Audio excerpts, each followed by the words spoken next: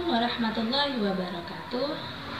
Innalhamdulillah nahmaduhu wa nasta'inu wa nastaghfiruh wa na'udzu billahi min syururi anfusina wa min sayyiati a'malina.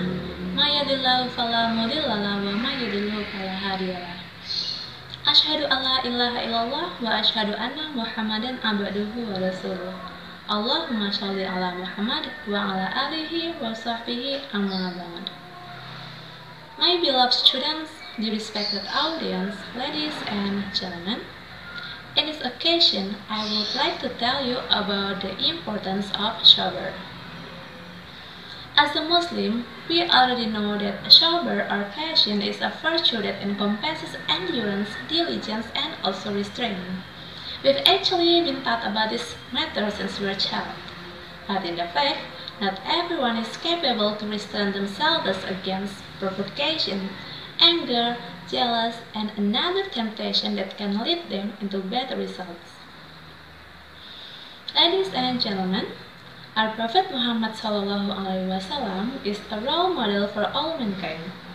When Islam still new and unknown and even unacceptable back then, the Prophet Muhammad SAW was the one who was patient, suffered, and endured for the sake of spreading this perfect religion to the world. Let's recall the history of Prophet Muhammad SAW when the leaders of the tribe of Quraysh opposed him and he eventually visited Ta'if and spread Islam there. When Rasulullah visited Ta'if, the tribe of Ta'if treated him very badly. Not only insulted him, they also asked their children to throw stones at him to drive him out of the town. In alone, bleeding, and also rejected condition, our Prophet Muhammad SAW could only pray to Allah. In his prayer, he didn't ask Allah to punish the tribe of Ta'if.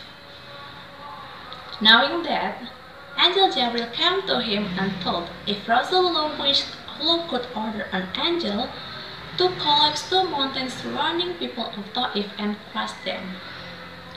But how did Prophet Muhammad SAW react? He didn't even think to take any revenge to the tribe of Ta'if. He was not overcome with rage or hate. He is compassionate and merciful.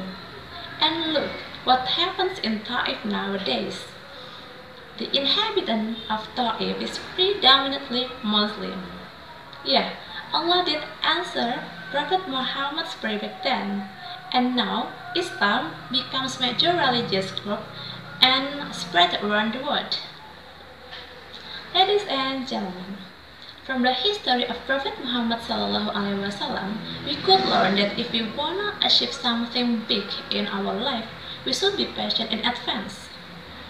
Like we are fasting today, we need to be patient not to eat, drink, or do bad things, so when we break our fast later, we could enjoy our big triumph with the joy. So, in this holy month of Ramadan, especially in the last days of Ramadan, let's increase our good deeds so we can get multiple rewards from Allah. Let's be patient because patience is always linked with hope and trust in Allah.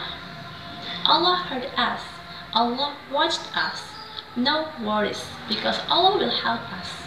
And indeed, Allah is with the patient one. A'udzu billahi minasyaitonir rajim. Ya ayyuhalladzina amanu ista'inu bisyabri wassalah. Innallaha ma'asyabirin. Quran Surah Al-Baqarah, verse 153. Hopefully all of us could follow Prophet Muhammad's deed and be the one who Allah loves the most. Thank you. Wassalamualaikum warahmatullahi wabarakatuh.